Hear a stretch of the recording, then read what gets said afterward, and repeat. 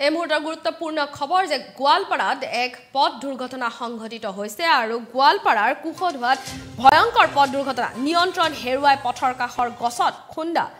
Grand আইটেনৰ আৰু থিতাতে নিহত আদিত্য কছাৰী আৰু লাচিত খাকলাৰী নামৰ দুই আৰোহী।